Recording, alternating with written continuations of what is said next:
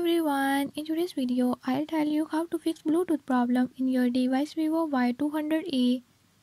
In this device if Bluetooth is not working, I'm gonna show you how to fix this problem.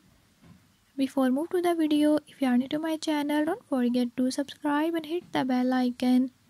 Watch complete video and learn how you can do it. Let's watch the video.